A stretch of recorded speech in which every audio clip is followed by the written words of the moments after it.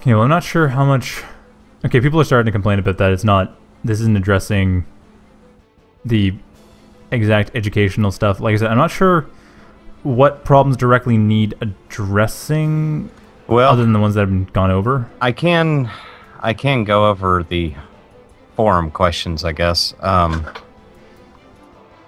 the uh, let's see, how do I download the game? That's honestly the biggest one, which you've actually covered several times. But basically, It joining downloads it for you. yeah, if you join a multiplayer battle, it'll download everything for you. Now, some people have had some trouble with the engine download getting to 100% and just sticking there. And I can verify, uh, because users have sent me screenshots, uh, the engine actually is being downloaded and extracted, just for whatever reason it's not showing up.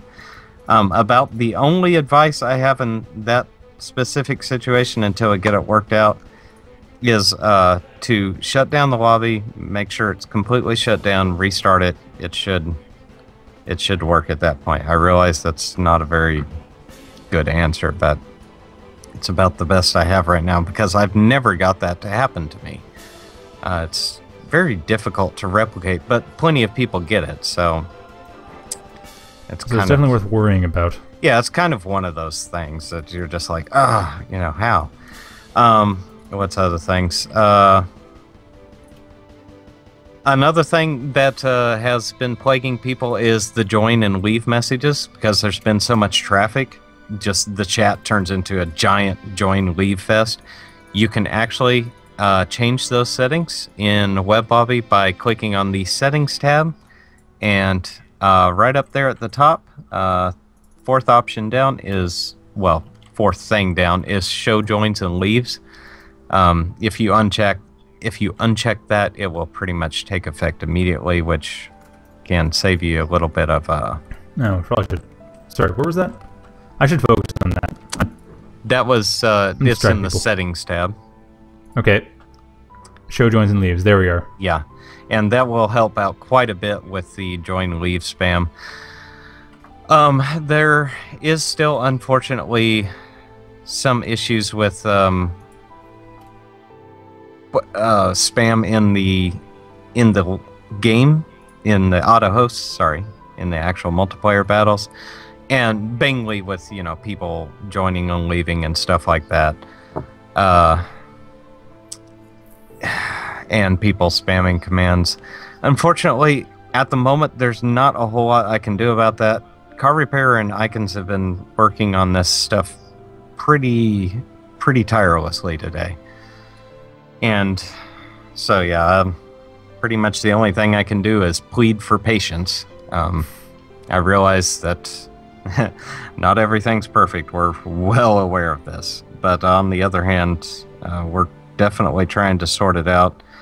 Um, I desperately want to release a new version of the game. I'm afraid to because Because everything's uh, going to download and break.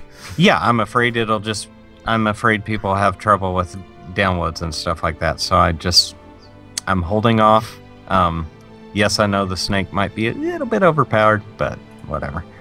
Uh, build more spaz. Build, build more spaz, build more dicers. yeah.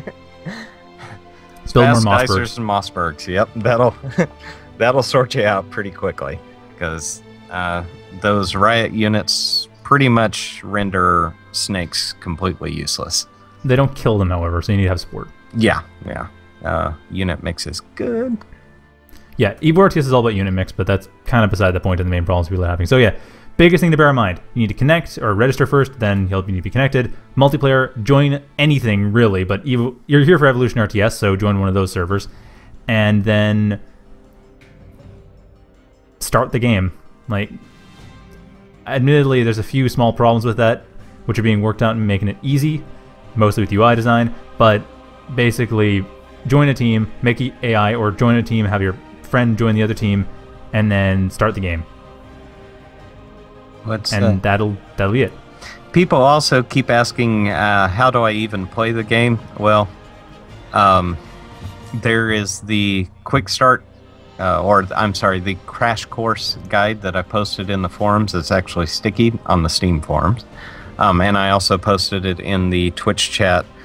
Um, I'm just trying to look through the channels here and see. Yeah, the engine won't download stuck at 100% one is irritatingly common. Um, it's actually, that 100% means that it actually has downloaded. It's just not syncing up.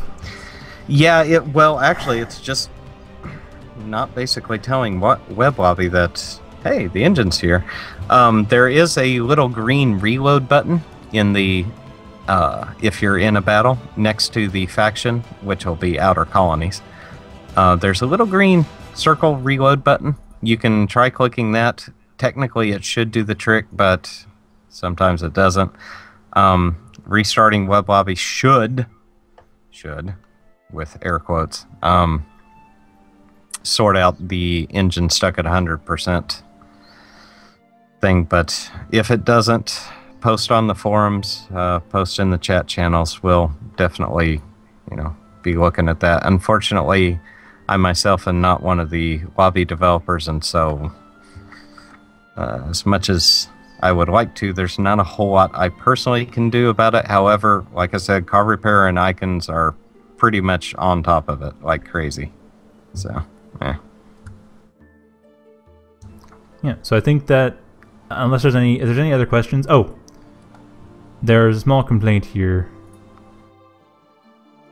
One sec, just gonna I have to hold on a sec. I need to figure out how to actually get this on, so I can watch it myself without going to the stream.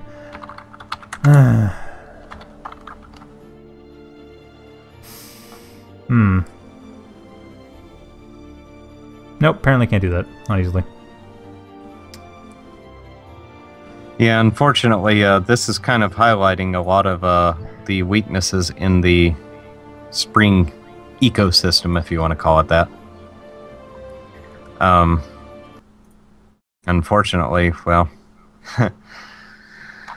maybe uh, maybe the end result we, will be positive. I'm actually quite sure it will be, but unfortunately, there's there's growing pains here, definitely. Um, and uh, let's see, sacred ass cheeks. Now there's a name for you. You know, I've seen a lot of suggestive names. I haven't seen any offensive names. I've just seen some that kind of make me squint and some that kind of make me laugh and some that just make me stare at the screen. Sacred ass cheeks, I believe, might be the latter.